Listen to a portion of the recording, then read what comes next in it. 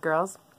I kind of have the camera turned funny. I don't know if you can see the sunrise coming up. The sky is just beautiful. I've been watching the hot pink kind of slowly creep up the horizon. Um, just love the morning time when it's so quiet. I just wanted to come on here and um, point out a post that I posted yesterday in case you hadn't read it yet. It's about being hungry.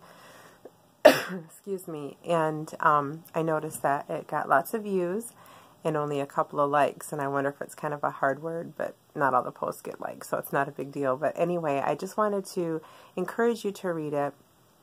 You know, I know so many of us struggle with the same things, and this post was about being hungry and creating a hunger for God. And if we're filled up, how we can't um, you know, we don't have that hunger for him and, and the certain things that we can fill up with. And I think of, um, I work with a lot of ladies with nutrition and, you know, I'll hear so many times, oh, I just can't get all my protein in. And you can if you cut out the other stuff, okay? And it's like, it's kind of like my thing. My kids know it. My friends know it. I'm a big protein person because um, I know women don't get enough protein as a rule. But anyway, when you're having problems eating what's nutritious and what's good for you, if you know you need to eat X amount of grams of protein, but you're eating um, other stuff, you know, fats and vegetables and even carbs, if you eat carbs, you know, and you don't have room for protein, the answer is not throw your hands up and like, I just, I'm not hungry for protein.